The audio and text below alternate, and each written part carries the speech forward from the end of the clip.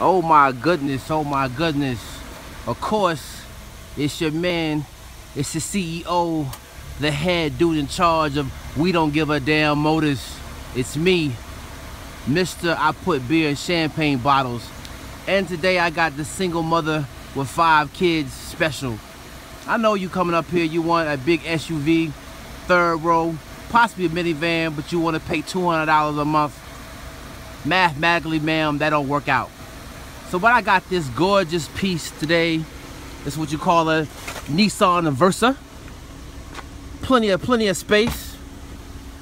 Now, if credit is the issue, I'll bless you. That dirt right there, I'll clean it up. I'll waive if you you'll I'll waive your down payment if you put up with this, you know I'm saying, mess right here.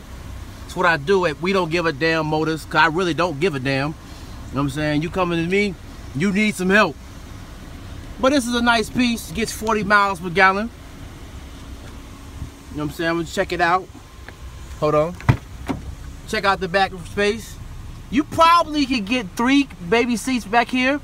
The third one can, the fourth and fourth and fifth child can sit in the back, damn the baby seat. You didn't pay your you pay your bills. Who gives a damn? We don't give a damn here. We don't give a damn motors. You heard? Have a blessed day.